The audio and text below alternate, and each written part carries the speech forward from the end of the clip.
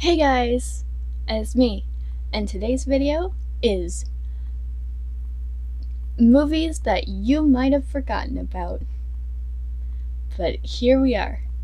So these movies may or may not bring back some nostalgia, or you might have just forgotten that they've been here for a while. I got my friend and my boyfriend to help me think of which movies that were pretty much well known back in their day. And now here they are being reviewed.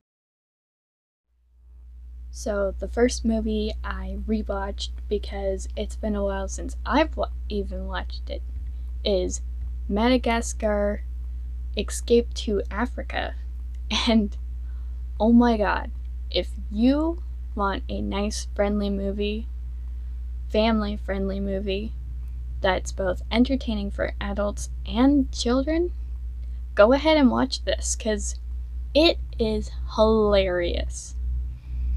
But you definitely have to watch the first and sec the first one before you watch that one, of course.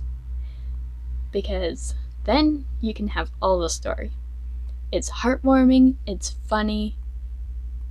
You just gotta watch it. Like, really, you just got to. So now, I just finished watching the Spiderwick Chronicles, and it was awesome. I loved it so much.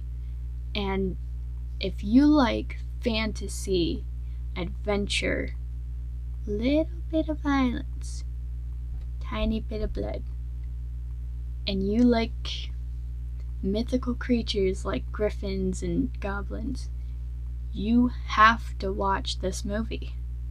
You just have to. It's so good. Come on.